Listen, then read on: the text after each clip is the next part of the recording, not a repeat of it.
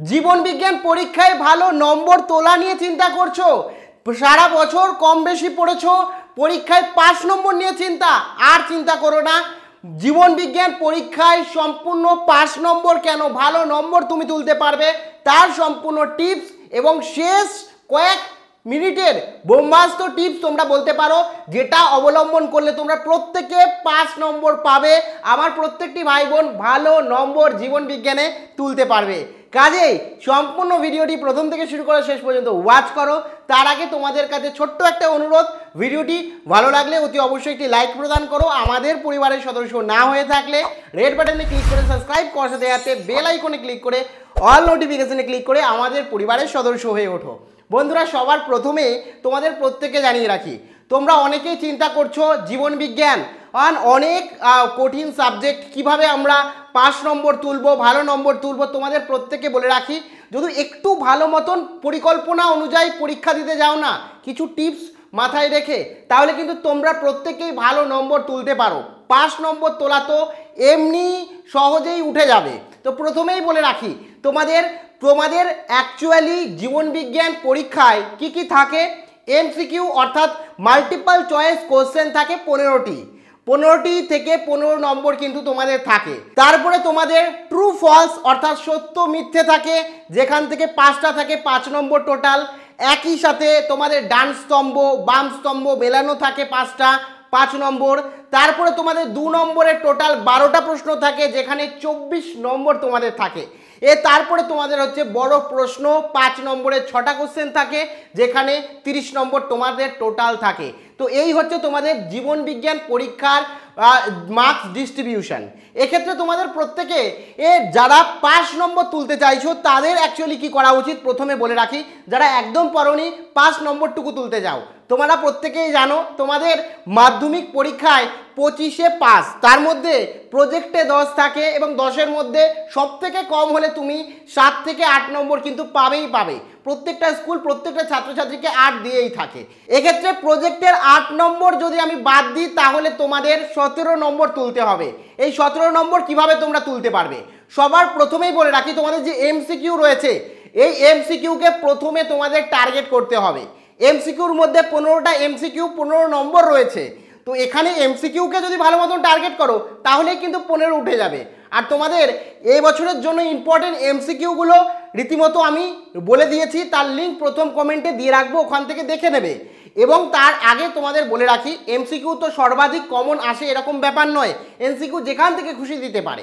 কিন্তু তোমরা প্রত্যেকে একটা বিষয় মাথায় রাখবে যে যে এমসিকিউগুলো জানো, সেগুলো সঠিক লেখো। তারপরে যেগুলো জানো না, সেগুলোর ক্ষেত্রে কি করবে?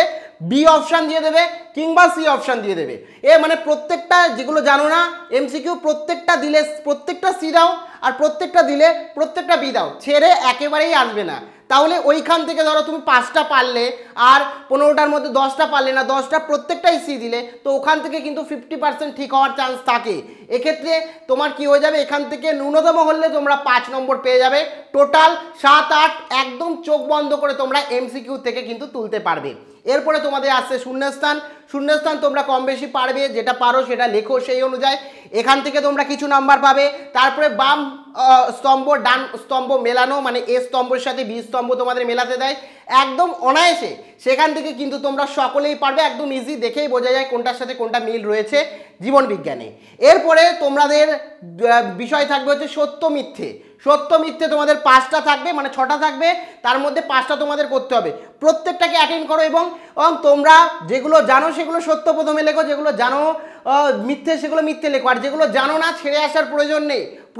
প্রত্যেকটাকেই মিথ্যে লেখো, প্রত্যেকটাকেই সত্য লেখো। অনেকে আছে, জানে না, কিন্তু ওভার কনফিডেন্স যে একটা সত্য, একটা মিথ্যে, একটা সত্য, একটা মিথ্যে এরকমভাবে করি। অনেকে রবার তুলে অ্যাকচুয়ালি আর মানে টার্গেট নেয় যে এই পিঠ পড়লে সত্য, এই পিঠ পড়লে মিথ্যে। তো এরকমভাবে একেবারেই করবে না। তোমরা সব যে কটা জানো না সত্য, মিথ্যে, সে কটা প্রত্যেকটা সত্য লেখো অথবা প্রত্যেকটা মিথ্যে লেখো, তাহলে কিন্তু তোমাদের নম্বর পাওয়ার পসিবিলিটি থেকে যায়। আর যদি সত্য মিথ্যে সত্য মিথ্যে করে লেখো, না জেনে, তাহলে কিন্তু একেবারে শূন্য পেয়ে যেতে পারো। তো এরকম প্রত্যেকটা সত্য, প্রত্যেকটা মিথ্যে লিখলে ওখান থেকে কিছু কিছু কিছু না কিছু নাম্বার পাবে। এ তারপরে তোমাদের অ্যাকচুয়ালি চলে আসবে হচ্ছে, এ তোমাদের হচ্ছে দু নম্বরের প্রশ্ন। দু নম্বরের প্রশ্ন মোটামুটি তোমরা জানো।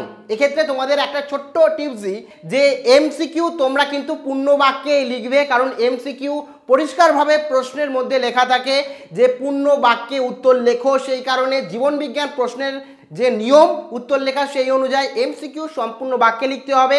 এবং তোমাদের এক নম্বরের যে প্রশ্নগুলো রয়েছে শূন্যস্থান, সেগুলো শুধুমাত্র শর্ট তোমরা লিখতে পারো, কোনো অসুবিধা নেই। চেষ্টা করবে পূর্ণ বাক্যে লিখতে।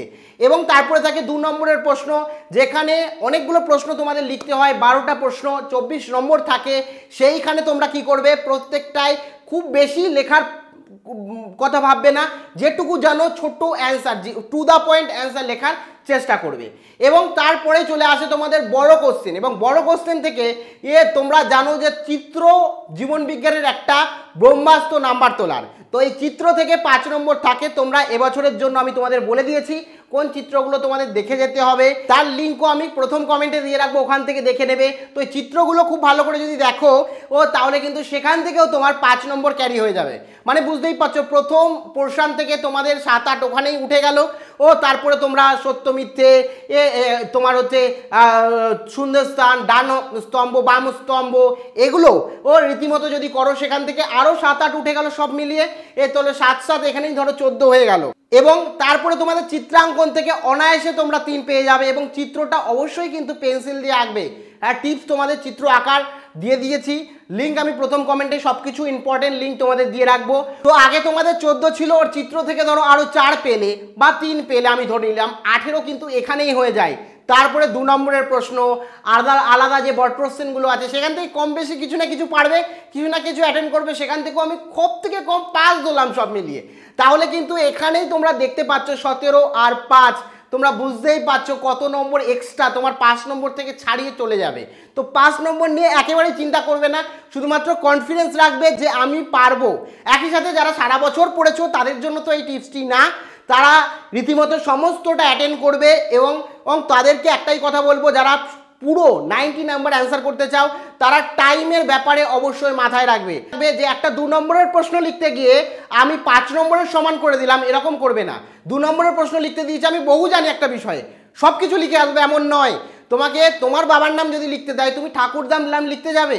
যেটুকু দিয়েছে সেটুকুই লেখো দুটা পয়েন্ট অ্যান্সার লেখো তাহলে কিন্তু তুমি সময়ও বাঁচাবে, সাথে তোমার নম্বরও ইনক্রিজ হবে। বেশি লিখলে উল্টে হিতে বিপরীত হবে, নম্বর কেটে দেবে। এবং সমস্তটাই অ্যাটেন্ড করো যারা নাইনটি পার্সেন্ট আপ রেজাল্ট করতে চাইছো, ও নব্বইয়ে পঁচাশির ওপর নাম্বার কি নব্বই নব্বই পেতে চাইছো, অবশ্যই সম্পূর্ণ অ্যান্সার করো। অবশ্যই তোমরাও কিন্তু ভালো নম্বর করতে পারবে। তো এই মুহূর্তে দাঁড়িয়ে তুমি কতটা পড়াশোনা করেছ তার ওপর অবশ্যই নির্ভর করছে, কিন্তু পাঁচ নম্বর নিয়ে একেবারেই ভিডিওটি এতদূর দেখে থাকলে চিন্তা করবে না। এছাড়া ইম্পর্টেন্ট যে প্রশ্নগুলো, চিত্রগুলো ও এবং এমসিকিউ যে ইম্পর্টেন্টগুলো ও সেগুলো দিয়েছি, তার লিঙ্ক প্রথম কমেন্টে দিয়ে রাখব, ওখান থেকে দেখে নেবে। প্রত্যেকের পরীক্ষার জন্য অসংখ্য শুভেচ্ছা রইল।